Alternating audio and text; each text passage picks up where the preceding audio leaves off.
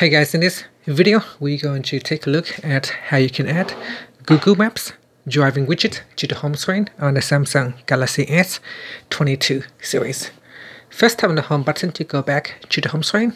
And on the home screen, touch and hold. Next, you want to tap on widgets at the bottom.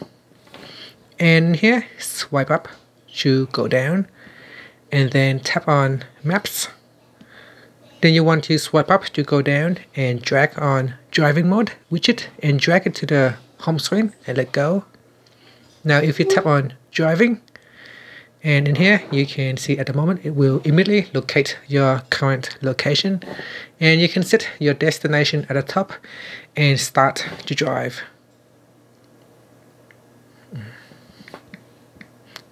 And then just put in the address and then you just press on your destination navigate. by 7:44 p.m.